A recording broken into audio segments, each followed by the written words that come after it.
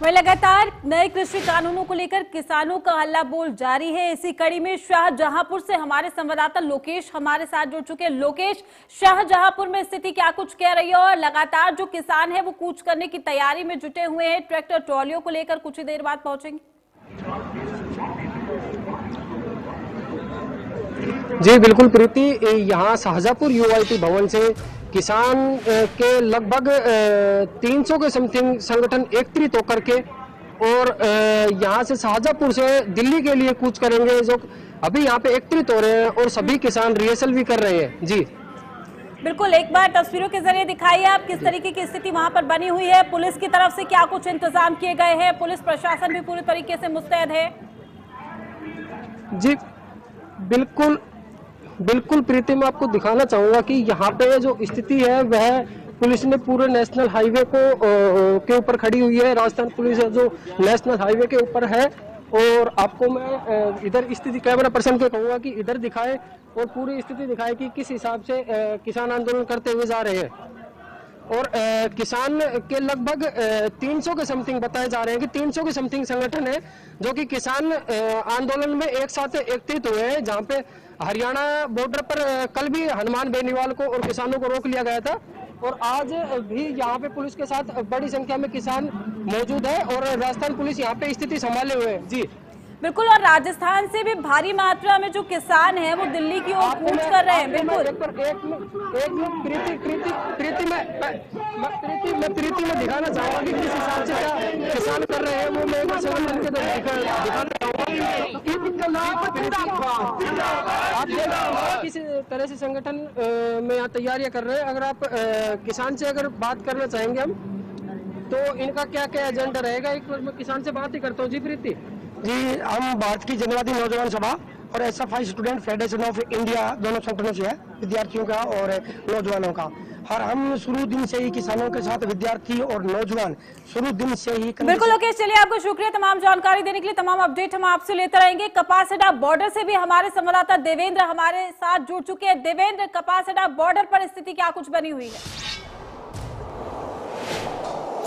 देखिए, बिल्कुल जिस तरह से शाहजहापुर में जो स्थिति बनी हुई है और वहाँ से दिल्ली की तरफ़ जो किसान कूच कर रहे हैं, निश्चित तौर पर उनको हरियाणा में रोकने के लिए पूरी तरह से बैरिकेडिंग की गई है और नेशनल हाईवे एट पर किसी तरह की जो बाधा ना आए, किसी तरह से लोगों को परेशानी ना हो, इसको मद्देनजर रखते हुए बड़ी संख्या में बैरिकेडिंग की है कि वो हरियाणा में जब किसान एंट्री करें तो उन्हें वहीं रोक उन्हें वहाँ बैठाया जाए, समझाया जाए, बातचीत करने की कोशिश की जाए। इसको लेकर तमाम जो जिला प्रशासन के अधिकारी हैं, चाहे पुलिस के अधिकारी हैं, क्योंकि हरियाणा में एंट्री राजस्थान से ज़रूर वहाँ से निकाला जा सकता है, लेकिन हरियाणा में इन किसानों को रोकने की कोशिश की जाएगी, क्योंकि पूरी तरह से हाईवे बाधित हो सकता है, और यदि वो आगे की तरफ़ बढ़ते हैं तो निश्चित तौर पर पचगांव और रेवाड़ी के बॉर्डर पर भी इन, तमाम इंतज़ाम किए गए हैं। और दिल्ली से पहले तमाम जो बैरिकेटिंग है, ये ये ज़ाहिर करती है कि किसानों को आगे न आने दिया जाएगा। और इसी को लेकर तमाम इंतज़ाम भी किए गए हालाँकि दिल्ली पुलिस की तरफ़ से भी तमाम बंदोबस्त बॉर्डर पर किए गए यानी कि सभी जगह पूरी तरह से पुलिस मुस्तैद नज़र आ रही है। साथ ही साथ किसानों ने साफ़ कर दिया है कि 12 तारीख को जिस तरह से टोल फ्री करने का जो ऐलान किया था, फैसला लिया था, उसके बाद 14 तारीख को सभी जिला प्रशासन अधिकारी और तमाम जो मंत्री हैं सरकार में उनके उनका घेराव किया जाए। तो उसको लेकर भी पूरी तरह से इंटरनली जो सिक्योरिटी है वो पूरी तरह से मुस्तैद नज़र आ रही है। तो कहीं ना कहीं ये कोशिश है क्योंकि जो बड़ी संख्या में पंजाब और राजस्थान से जो किसान दिल्ली की तरफ़ कूच कर रहे हैं तो उनको आगे ना आने दिया जाए। जी। बिल्कुल देवेंद्र, लेकिन देखिए, स्थिति चिंताजनक आने वाले दिनों में इसलिए भी बन सकती है क्योंकि लगातार किसानों की ओर से बस एक ही बात कही जा रही है कि उन्हें नए तीन कृषि कानून रद्द चाहिए। सरकार की ओर से ये कहा जा रहा है कि हम संशोधन के लिए तैयार है, लेकिन किसानों का सीधे तौर पर कहना है कि हमें संशोधन नहीं चाहिए, हमें रद्द चाहिए। इससे पहले हम देखें भारत बंद का मिला जुला जो असर है वो दिखाई दिया। टोल प्लाजा को फ्री फ्री किया गया कई जगहों पर तो कई जगहों पर हमने देखा अगर हम फरीदाबाद की बात करें, पलवल की बात करें तो वहाँ पर टोल फ्री नहीं थे। लेकिन कल 14 तारीख, यानी कि 14 दिसंबर को भूख हड़ताल पर किसान रहेंगे। ऐसे में ये कहा जा सकता है कि अब हज़ारों की संख्या में तमाम राज्य से जो किसान है, वो एकजुट हो रहे हैं। और सीधे तौर पर यह कहना भी गलत नहीं होगा कि अब कहीं ना कहीं आंदोलन को और भी ज़्यादा तेज करने की ज़रूरत किसानों के लिए आन पड़ी है।